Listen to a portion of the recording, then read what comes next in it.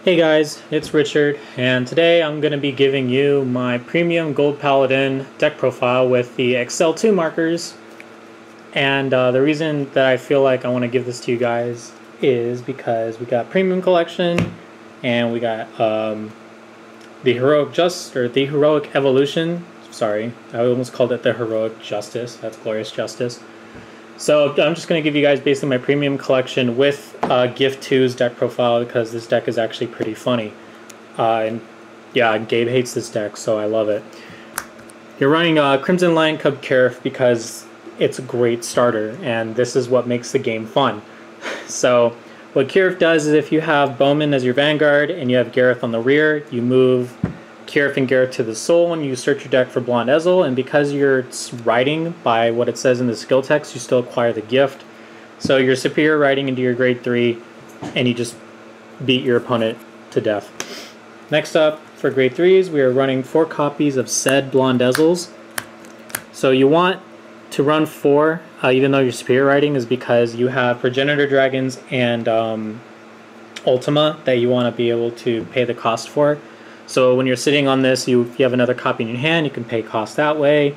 You also want a bunch of grade 3s, and you also want Ezel targets for Wonder Ezel, so you want to run 4 Blondes. Uh, its main phase skill doesn't really matter. It's if you have Bowman or and Gareth on van or rear, you Soul Blast Karif and ride it as stand, that's for standard. The other skill is when it attacks, you call a card from your hand to rearguard circle. You're going to be striding, so you're not going to use any of those skills. But as an Ezel Vanguard, and it's Blonde Ezel for Karif. So next up, we're running three copies of Ravenhair Ezel, and then fourth copy of Ravenhair Ezel, which is the ultimate break one. So I know a lot of lists just run the four Raven Hair, which is perfectly fine. I decided to run the one old one just because it's really funny. Uh, it also stops protect gifts, which is nice. So I'll just read over their skills real quick. So First Ravenhair skill is uh, if you have Blonde Ezel on your Vanguard Circle and this is in your hand, you can plus one. Right is stand, that's for standard. Their skill is when it attacks, if you have Blonde Ezel in the Soul, you can plus one.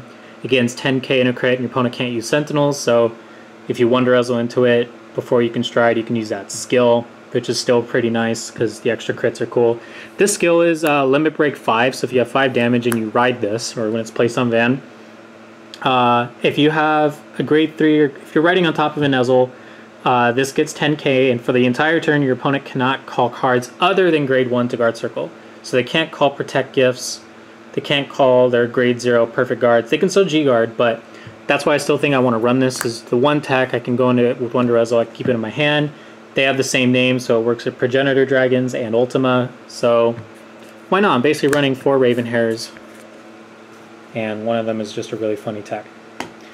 Next up, so we are running 12 grade 3s. Next up, which are four copies of Sagamore. Uh, we're running four because, again, Progenitor Dragons and Ultima, so if I have two in hand, I can ride one, discard the other for Ultima fodder. It's also good on Rearguard Circle because it just gives you more hand. Uh, it's when it's placed from hand, you Soul Blast one, draw a card, then call a card from your hand to rear. Helps you filter through the deck faster. It's still a good ride target. It's a 12k beater. It's just a really good skill. You have plenty of Soul. You will never have to worry about soul in this deck. So, for Sagamore. Uh, next up for grade 2. This is the only card you want to ride. If you ride any other cards, uh, sucks.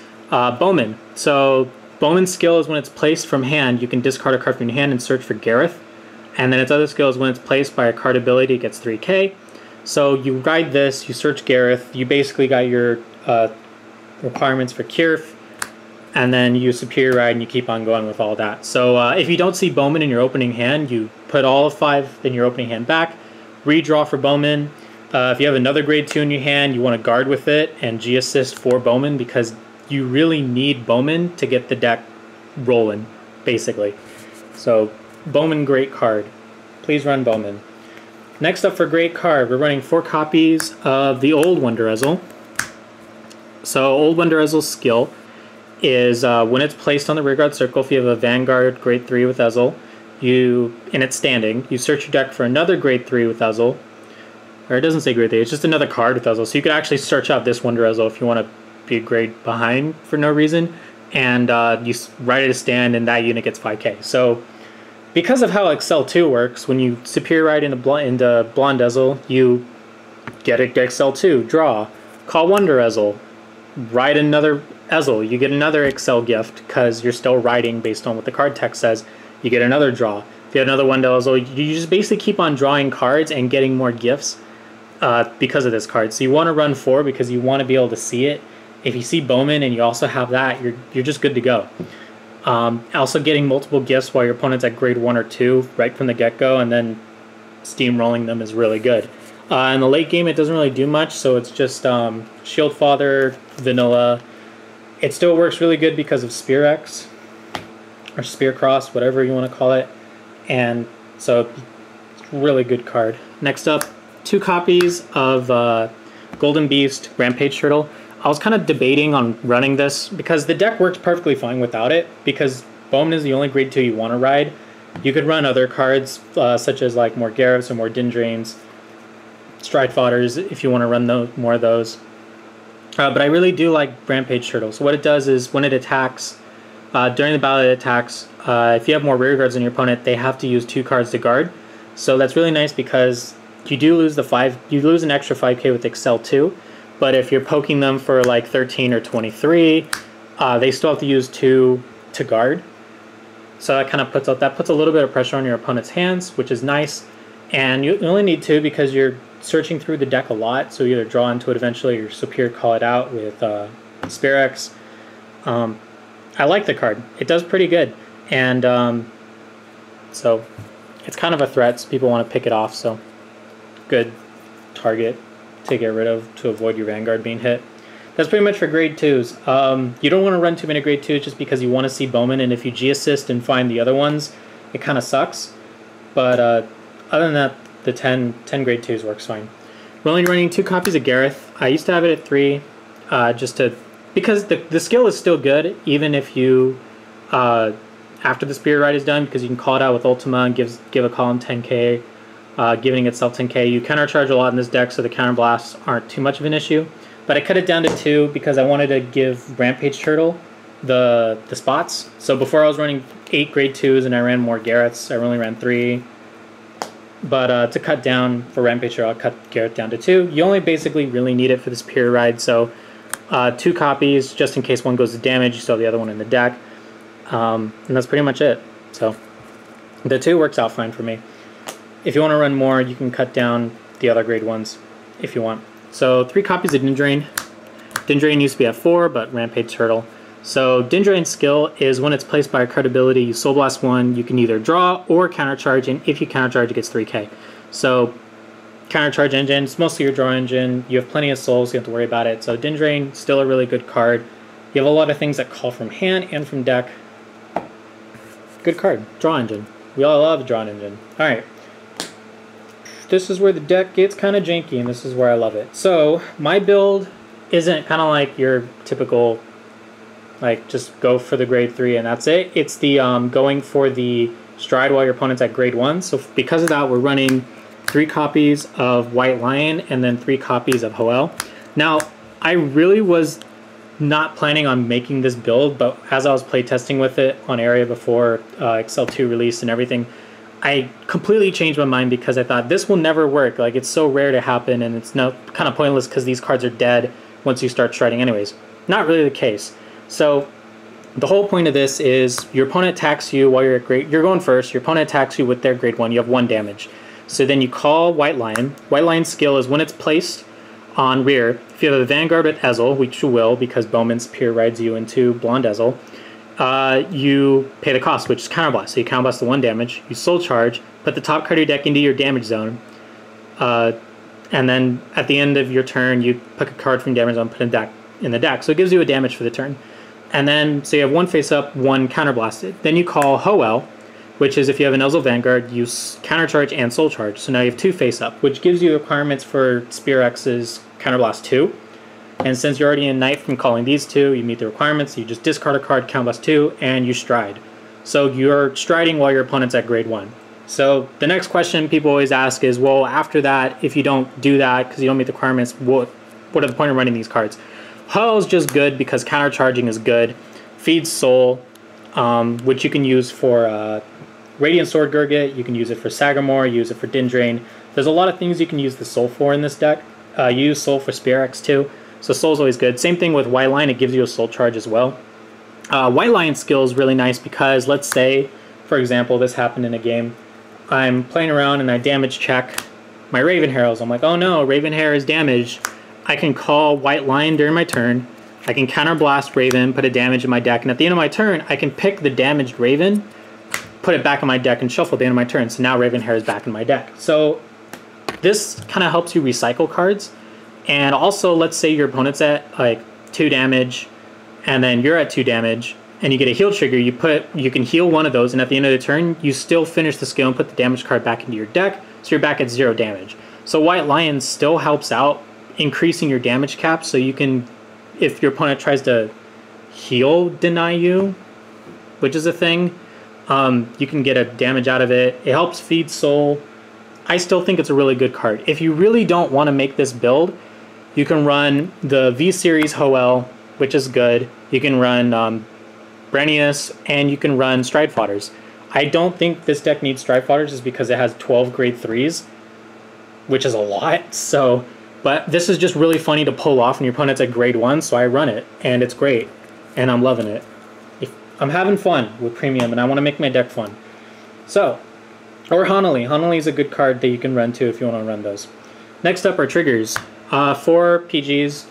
Um, I'm debating on whether I want to drop one of these for another grade. Let's say if I don't want to run the White Lion superior, like Superior Stride combo, I'm thinking of ditching one of the PGs for a grade 1 PG like um, Lavinia or Alicia, um, just to put more crits in the deck, just kill faster. And those PGs have really good skills, and the grade 1 lineup is pretty manipulable. Uh, but for now, it's just the draw PGs because draw triggers are good and PGs are cool. And if you use Slamey's skill, you can guard with it from the deck. PGs are cool. Uh, next up, this is from Premium Collection. We got four copies of Theodora, player of the Holy Chord. Yeah, so it's a it's a Hearthmount clone for V Series. So it's GB1 and Vanguard attacks. You put the Soul, Vanguard gets 10k, and you draw a card. And it has 15k shield and 10k power. So premium triggers are good with skills. So for that, so the deck is 8 crit, and my crit of choice is Flame of Victory. V series triggers, you don't want to run any other triggers because you want the power and the shield. And shields are good with Slamey. And last up for triggers, running for the V series heal. Uh, we have really good countercharge engine, so we don't need to run the countercharge heal that much. I'm not really worried about it, except maybe if for whatever reason my locals start becoming like infested with Hanalis everywhere, and I'm like, I really need countercharge. Uh, I might run the lucky, the not lucky rabbit, the uh, liberator rabbit. Um, but for now, Hoel and Dindrain do fine for countercharging, so I'm not really worried about it. So I'd rather have the power and the shield value than um, 5k triggers. So we're running all 10k triggers in this deck. Next up, G units two copies of Spirit Dragon. Uh, two copies, one copy for the Superior Stride. The other copy is uh, if I want to go in for game and I just want to use a bunch of Wonder Wondrousles during the main phase, get a bunch of gifts, get a bunch of draws, then use the Axe skill to stride during my main phase. I can do that late game, especially if I'm on um, Raven Herald, which is pretty always fun. So the first skill is G Zone. If your Vanguard's at grade 3, you can Counterblast 2, discard. You have to be in Unite, sorry. You counterblast two, discard one, and you stride this from face down. So stride during your main phase. Uh, it doesn't have a requirement for your opponent to be at a specific grade, so you just have to be at grade 3, which makes the Ezel Turbo even more fun. The other skill is Van, once per turn, Soul Blast, uh, flip anything in your G-Zone face up. Look at the top 5, you call 2, and you shuffle the rest into your deck for a Soul Blast. So it's nice because if your opponent uh, denies you damage, you're just at 0 damage, you have Spear X, you have Gurga Helios, you have you have G units to go into that you don't have to really worry about. So Spear X is a really good card. Run it at two because you want to at least go into it twice. If you have, if you're kind of struggling on like money and you're like, oh, I don't have these expensive cards, run into the Spear X. You can use the skill as much as you want. You know, it's a good card, and I think you have plenty of soul and you have plenty of like unflip abilities, so you can do the counterblast two discard as much as you want. Also, the fact that it doesn't require a grade three discard. If you can't pay the cost for stride, as long as you can get to Unite and Counterblast 2, you can still stride, which is really cool. So more reason why I don't think this deck needs Stride Fodder as much is because you have access to Spirits. Alright, enough talking about that. Uh, two copies of Mithra Ezel. Link Joker exists. That's just about it. But other than that, it's flip fodder for Spear X. So I do Spear X and I flip this because I'm not playing against Link Joker. And the other copy is for the other flip flopper. So, but let's read what it does. It's Chiron 1, choose a face down copy with the same name as itself. Uh, if you have a heart with Ezel, you look at the top five, call one, the rest get shuffled back, and this unit and the unit you called gain power equal to the base power of the unit. Uh, also, you unlock your whole board on top of that. So if your opponent playing Link Joker, this deck still does fine if you have some block cards, but if you really need your field back, just go into Mithril Ezel, you get field back. Yes, your card's unlocked, so Star Vaders get some bonuses off that and stuff, whatever. You get your field back, which is cool. Other than that, it's flip fodder. Uh, you can, if you really don't want to run this, just because you know for a fact no one's playing Link Joker, your locals, you can run Heavenly Law Gurgit. I'm not running Heavenly Law Gurgit just because of the way my G zone is, which you guys will see. Um, but you can run that as flip fodder. You can run, um, you know, he- more Helioses as flip fodder. There's plenty of things you can do. But for now, it's really kind of like, oh, just in case I play a Link, Link Joker, it's an extra deck just to counter one deck. Why not? As well as like mainly one of the clans that has a super, super easy way to get rid of locks, so might as well. Two copies of Helios. Uh, this card used to be at four because it was so great, but because Spear X is usually our first stride, we want to have room for Spear X. Uh, if you have the Helios, but you don't have expensive cards like um, what's his name again? Ultima. If you don't, if you really want to make up space for cards that maybe you're missing, just run more Helios. Helios is such a good card. Uh, first skill, Act. Once per turn, Unite flip a copy of this face up, you get drive plus one. No cost, really. So no counterblast, nothing. You just flip, drive plus one. The other skill is GB3. This gets 5k for each of your rear guards, and when it attacks, uh, your opponent can't call grade 1 cards. PGs are grade zeros now, so it really kind of depends what your matchup is. If you're playing against Luar, they're usually running grade 1 PGs, so this can help push for game. Uh, especially if you have uh, Ravenhair written and you have its skill active, you're basically saying you can only G guard, uh, which is nice because all that power up you'll get on top of that will make it harder for them to guard. Plus the quad drive, quad drive helps you fill your hand. Uh, still really card. I usually don't go into it more than once just because by the time I can hit Ultima, I just go into it and that's kind of what seals the game anyways. So going into Helios more than once is kind of rare. But that's the way I have it set up for now. Next up is two copies of Glorious Reigning. This is for finishers. Uh, Glorious Reigning came back. It's a good card. If you don't have Glorious Reigning, just put in more Helios. If you don't have Helios, put in Heavenly Law, because Heavenly Law got reprinted. Anyways, uh, the skill is when it attacks, you counterblast, flip copy of itself face up. You pick two of your rear guards, put on the bottom of your deck. You look at the top seven. Among those seven, you call units equal to the number of cards face up in your G zone. So if you have five face up, of those seven, you call five and then you put the rest back in your deck and shuffle. After you've called, if you called three or more units, you soul charge and counter charge. So you're getting the counter charge for its own cost back. You get more soul. Uh, if you called cards like Dindrain, you're getting soul for to pay for those costs. And yeah, that's basically it. So you basically get multi attacks on top of those Accel markers that you're gonna get. So if you called turtles, you swing, you put the turtles back, and if you have like exactly seven cards left in your deck, you can call those exact same turtles. So it's kind of like a restand. Uh, again, Raven, the old old Ravenhair, the Ultimate Break one, makes this card really fun because you just have a bunch of attacks that they can only guard with grade ones from their hand with, so it makes it harder for them to miss all those pokes. Unless they get a damage trigger, then you're kind of screwed. Other than that, it's still a really good card. It's kind of rare for me to go into it, but again, uh, G Zone is for situations, and you might have a situation where you want to do a bunch of attacks. Yeah, as the famous Nicky Goldman once said, "You never not want to go into Glorious Reigning because it's too much value." Don't know if that's changed, but I remember he said that. So that was it for the um, kind of the flippy flippy strides. We're going to go into the ones with don't flippy flippy. So I'm running one copy of uh, Radiant Sword Gurgit. The reason I'm running this is because um, you do a lot of soul charging. So you're to have like maybe seven or eight cards in your soul at some point, and it's just really fun when you be like, okay, stride Counter Blast 4, Soul Blast 8, my field gets plus 20k. Why not? You know? Um, It uh, helps hit for really big numbers. On top of the Raven Hair, like I said before, it just makes really good plays. Um, it's again, it's just a situational card. It's there, but there's other things you can obviously go into. The flow of the game is usually Spear X, Helios, Ultima, or Spear X, Ultima, Glorious Reigning, Ultima. You know, I don't know if I said Ultima twice there, but who knows. Total Fury Agnos. So this is our Progenitor Dragon. Progenitor Dragon's actually really good in this deck because a lot of the cards that have effects that are when they're placed from hand. So Agnos' skill is you can only uh, pay the cost by discarding a copy of your Vanguard. Uh, when it's placed, you count plus one, soul plus one. You call as cards from your hand to fill up your rear rearguard circle as much as possible. So you have to call on top of units that you have on the field already because it's not about empty circles, it's about circles. So even if you have all seven of your rearguards occupied, or six, or however many you have, you have to fill them up from your hand as much as possible.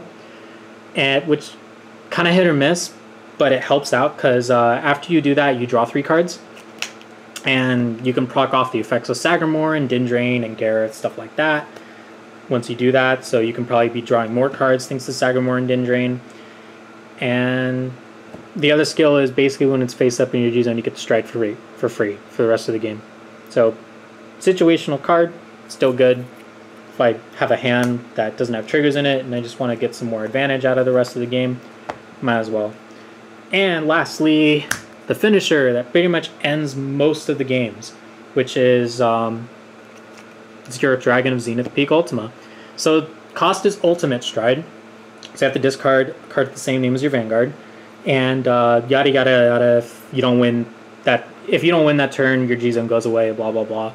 When it's placed, you count less two, search for four cards. Two get called to rear, the other two get placed on the top of your deck, and for the rest of the turn, when you drive check a trigger, it gets applied to all your units. So, call two units, put two crits on top. All your units gain 10k in a crit, so your all your rear guards swing for uh, 20k with uh, three crit. Goes great with Turtle, and it's overall really good finisher because Gold Paladin is the only XL clan in United Sanctuary here we are. It's, it's fun. I love it. If you can afford Ultima, I would say get more Spear X and more Helios. That that would be a good priority. But for the most part, Ultima is your win condition for most games. So there you go. G Guardians. We're running two copies of Slamy Flare because shields are good. You choose a rearguard, put on the bottom of your deck, look at top five, call two among them with different grades. They go to the Guardian Circle, and then you shuffle your deck. Next up, we're running two copies of True Liberator Healing Elise. Elise is really good because it helps you fill your field, which you don't have a lot of access to because most of the Unite abilities you have to do from hand. Uh, kind of helped with that because its skill is just a Soul Blast and a Flip to help you fill your field, which is nice. But other than that, Elise is good. If your field's kind of empty, you can start filling your field up a little bit again. So what it does is when it's placed, you have to be a GB1. Combo one, choose a G Guardian, turn it face up from face down. Look at two cards from top of your deck, call one to the guard circle, the other goes to the bottom. If the guard is successful, that unit can be moved to a rear guard circle. Uh, move is not placed, so you cannot activate the on-place abilities of the unit that you put from the guard to the rear guard circle. So no, you can't use Dindrain or Sagamore or Ho- literally you can't use their skills. So, but you still want to use it to help you fill up your G zone face up for uh, Glorious Reigning and to fill your field, which is always nice. And lastly, one copy of Ratcomb. Uh, you can run Rhea, but I like Ratcomb because there's a lot of times where I'll have cards in my hand that are like Wonder Ezel or uh, Hoel that I don't want to use. Maybe if I'm running low on deck, or I don't need the counter charge, or White Lion a lot of times because I'm like, eh, I don't need the damage. I'd rather just draw a card. So I can discard uh, a white lion and maybe draw a trigger for more shields. So Ratcomb is good because there's a lot of things that you can drop and draw on this deck. Take advantage of it. Other than that, it's mostly flip fodder for Elise. That was it. That was the deck. Um, here's the XL2 markers. I run four of them because I feel like if you know you excel more than four times, you should be winning by then. If not, it's just a flex, and then four of the regular excels for matchups where you don't want to use XL2 Most of the times I only use Accel 1 if I'm playing against Force, because a lot of times the net the plus 5 isn't really enough, and I'd rather have the plus 10k. But most of the time I'm going into Accel 2 just because Wonder Ezel in Accel 2 is just too good not to take advantage of. That was it. That was the deck profile. Um, if you guys like it, let me know.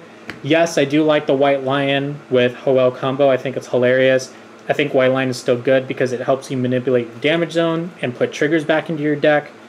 And I like Golden Beast Rampage Turtle. And I'm having a lot of fun with this deck. If you don't like Premium, I'm sorry. It's my favorite format because I really don't like turning cards sideways and doing nothing for turns. Um, if you think Premium is broken because of this deck, play against the new NLK and Ichikashima because those are also kind of unfair sometimes, and this deck isn't like super overpowered where it's tier 1. Premium is a lot of fun, and you guys should try it out. If it's not your thing, don't don't bother people who like premium. Anyways, that was the deck profile. Hope you guys liked it. Comment, subscribe, like the video, and if you want to see more uh, content, let me know. If you want to see another version of this deck without the White Lion, how I play it, let me know. That's more content for me and more stuff for you guys to see. So I was Richard, and I'll see you all in the next video.